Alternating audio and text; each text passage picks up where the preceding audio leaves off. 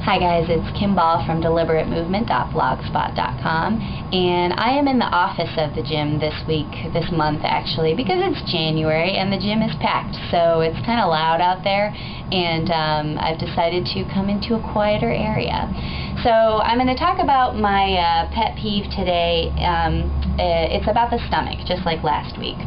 I am going to talk about the fact that there are people out there that still do tons and tons and tons of, cr of crunches for abdominal strength and for to try and you know spot reduce fat off of their stomach.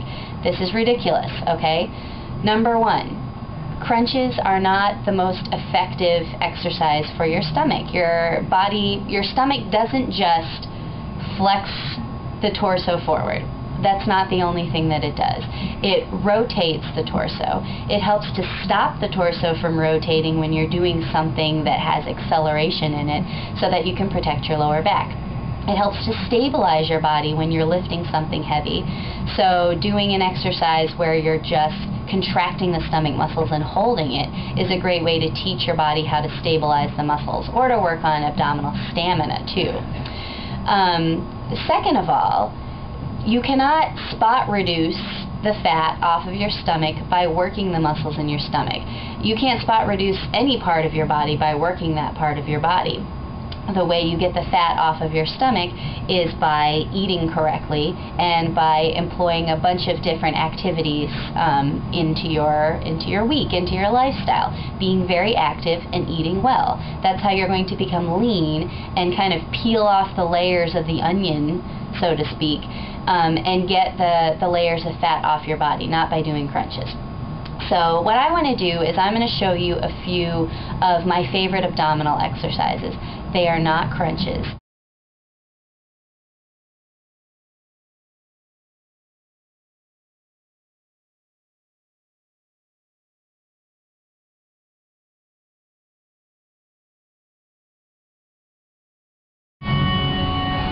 Okay guys, these are my five favorite abdominal exercises that are not crunches. Number one, the plank. On your elbows and your toes. Or on your hands and your toes. Or different versions of the plank. Like with your elbows on a ball. Or your elbows on a ball and your feet up on a higher surface. The second exercise is a side plank or side plank variations.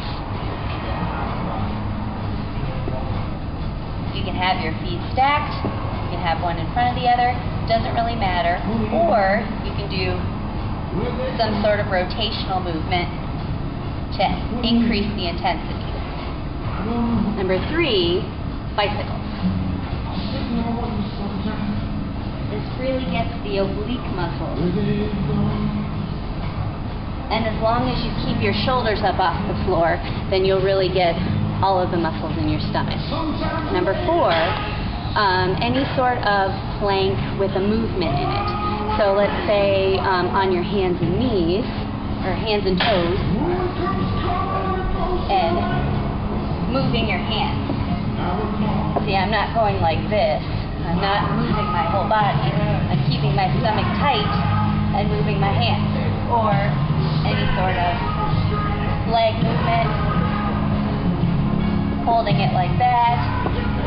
Doing Spider-Man crawl. Anything where you're in a plank position and you're moving other parts of your body. Um, you could get into a plank position and do punches. I had a friend show me that um, lately and it was a uh, it's a great exercise. And the fifth one is using the ball. Let me go grab my ball again. And getting into a push-up position. And bringing the knees in and out. Or bringing the knees in and out while rotating or bringing the hips up like so, kind of a pike up. Here's another angle.